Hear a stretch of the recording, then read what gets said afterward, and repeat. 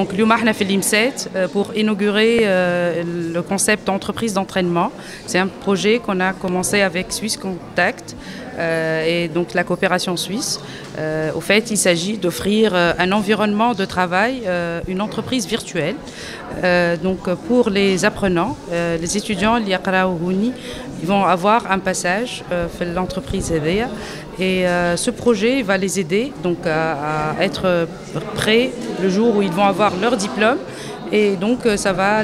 leur donner euh, plus de chances pour avoir donc, le premier job très rapidement. C'est un projet que nous avons commencé avec donc, la coopération suisse à travers Suisse Contact depuis donc, le 15 novembre. et la société d'entraînement elle est déjà installée il y a des apprenants, donc euh, des étudiants, Anna, euh, qui sont en train de faire donc euh, le tour des postes donc talaba والمتكونين اللي في امسات باش يكون لهم فرصه باش يمشيو دونك يدوروا على لي بوست الكل بوست اش بوست ماركتينغ فونت دونك مسؤولين على المبيعات على الموارد البشريه يتعلموا دونك التقنيات نتاع الخدمه ويستانسوا خاصه بال دونك بالانفيرونمون دونك بال اون في دير الجو في وسط شركه قبل ما يدخلوا يخدموا. هذايا بالطبيعة باش يسهل على الشركات اللي باش توفر لهم دونك مواطن شغل من بعد على خاطر هذايا ينقص في البيدجي ميزانية التكوين نتاع الموظفين اللي في الشركة ولا العمال خاطر باش يجيو حاضرين ديجا وإحنا في نطاق دونك هذايا لونتربريز دونترينمون دونك نعملوا زاده تكوين للطلبة والمتكونين في مجال السوفت سكيلز دونك وفي نعاونوهم كيفاش يبحثوا على على فرص الشغل.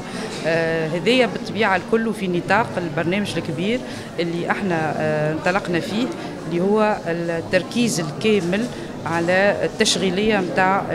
المتكونين والطلبه اللي يختاروا باش يقراو في الاونوريس تونيزي دونك لي انستيتيوشن نتاعها اللي هما لونيفرسيتي سنترال اللي العباد تعرفها اكثر بتاتر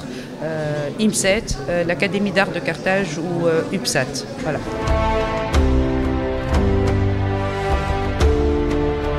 Euh, je suis très fier que la coopération suisse a